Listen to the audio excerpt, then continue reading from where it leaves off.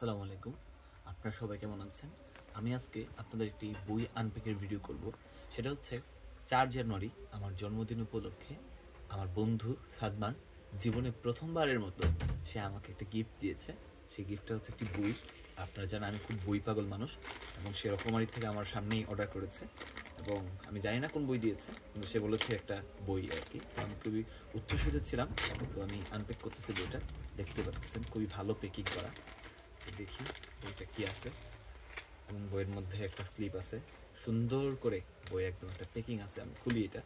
দেখতে পাচ্ছেন অনেক- সুন্দর করে প্যাকিং করেছে তার সাথে আমার বন্ধুত্ব প্রায় আজকে পাঁচ বছরের উপরে হবে।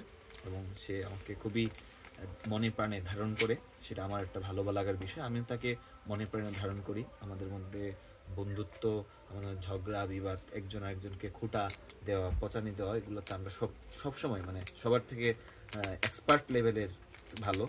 তো আমি এটা আনপ্যাক করতেছি, দেখতেই পাচ্ছেন। তো এটার মধ্যে আমাদের হচ্ছে, আমি এটা আনপ্যাক করতেছি। অনেক সুন্দর করে প্যাকিং করা, অনেক সুন্দর করে। প্যাকেটটা অনেক আকর্ষণীয়। দেখা যাক কি হয়।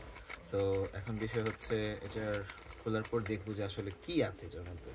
তো সেটা আমি আসলে আপনাদেরকে দেখাবো যে কী বই। আমি যদিও ধারণা করতে পারছি, একটা ভালো একটা বই হবে। কারণ আমার বন্ধুর বইয়ের পড়ার ইয়ে খুব ভালো।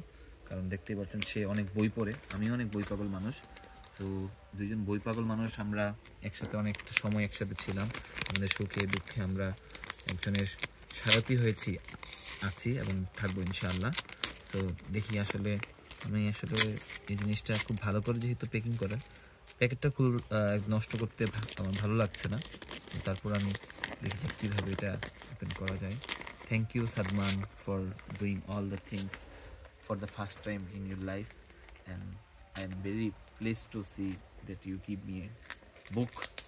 আসলে বই পাগল মানুষ তার কিছু লাগে না, একটা বই দিলেই না দেখি বইটা ভালো করে খুলতেছি কিন্তু তো, প্যাকেটটা অনেক আকর্ষণীয় একটা packet. Yes yes yes yes yes আমরা বইটা গেট খুলে ফেলছি। সো দেখি কি বই। ইয়াস এস শেকরের সন্ধানে হামিদা মোবাশেরা বইটা আমার খুবই পছন্দের একটা বই ছিল। এবং সেখানে একটা গিফটের কার্ডটা দিচ্ছে। To my best buddy partner in crime so একটা লেখাও আছে।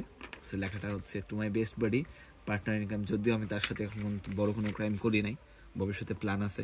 সো দেখা যাক কি করা যায় বড় কোনো ক্রাইমের পরিকল্পনা এখন থেকে মাথার মধ্যে চিন্তা করতেছি। সো এই বইটা কিন্তু ক্রাইমের বই না। এই বইটা আমার অনেক দিনের পড়ার একটা চয়েস লিস্টে ছিল এবং সে আমাকে বইটা দিয়েছে। So thank you so much Sadman for giving me such pleasure এবং আমি খুবই খুশি হয়েছি।